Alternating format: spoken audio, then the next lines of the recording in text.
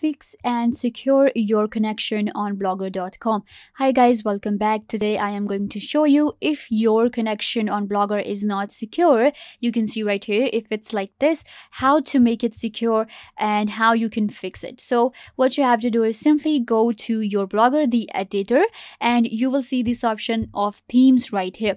Go to themes and then you will see your theme right here which is currently unavailable right? So what you have to do is simply click on this icon right here and edit HTML. Once you do that, it will open up this in front of you.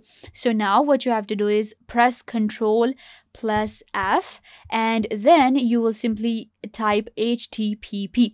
Once you do that, you will be able to scroll down, simply scroll down and you will see these right here. These are the links that you have to actually secure. So you will see right here, this does not have the right uh you know https so what i have to do is i will add this right here and then i will add this again so it has to be like this. It has to have this icon right here. Now it, is the right link. So now it will be secured. What i have to do is simply click on save. Once i click on save it will be processed and you can see updated successfully.